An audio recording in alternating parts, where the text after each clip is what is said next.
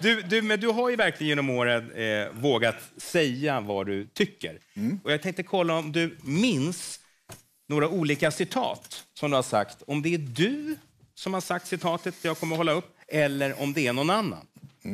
Ja, nu blir det test. Hur är det med självförtroendet?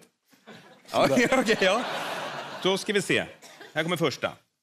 Man måste hushålla med vilka fånerier man ställer upp på.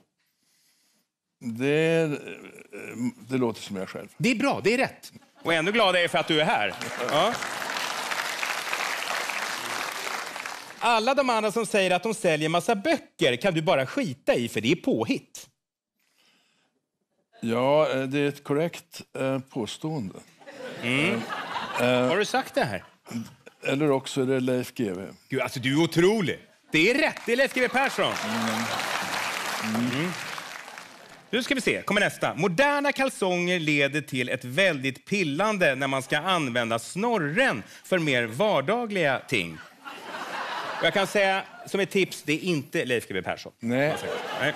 ehm, Snorren låter som om det är jag som skulle ha sagt det där. Påståendet är i övrigt korrekt. Ja, det är rätt, det är du som har sagt det. Ja. Du, kände, du tog det på att du brukar säga snorren. Det, Ja, och, också ironin är mer vardagliga ting. men vad är det du menar? Leif GW skulle ha sagt pissa. Jaha. Ha, är det lite slarvigt tycker du att säga? Nej, nej, det är bara olika eh, Sätt att uttrycka. förhållandet. eh, Vi har lite olika förhållanden till språket. Men jag måste, de här moderna kalsongerna, alltså var någonstans Ja. försvinner snorren i dessa? Ja, alltså, jag har med ett oerhört stort besvär hittills undvikit att i mitt sortiment hemma införa moderna kalsonger av det. Aha.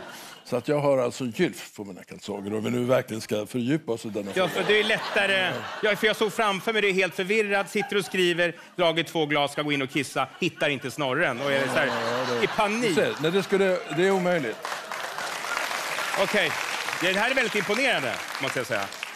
Jag kallade hans texter för intellektuell pedofili.